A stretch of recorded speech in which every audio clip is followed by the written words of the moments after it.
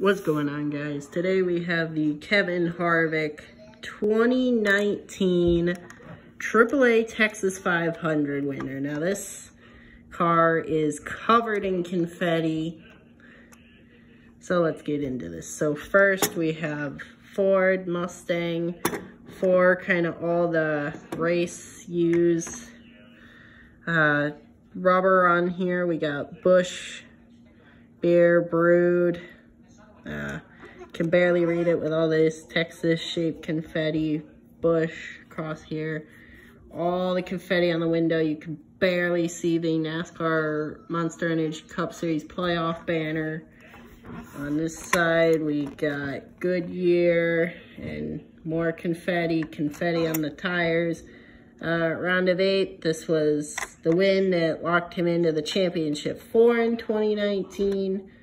Uh, Monster Energy Cup Series playoffs, 3M, Lincoln Welders, Mechanix Wear. Uh, number four, arrow for the jack, the window net. Uh, number four on the roof, can barely read it. Uh, and then down here, can barely even see in this windshield. You can barely read Busch on the back. Uh, wind back uh, deck lid here, more confetti, more Busch, Uh, all of this. And uh, more confetti. Uh, just a little burnout stuff around the rim here. They covered this car in confetti. And that is the Kevin Harvick 2019 Texas win.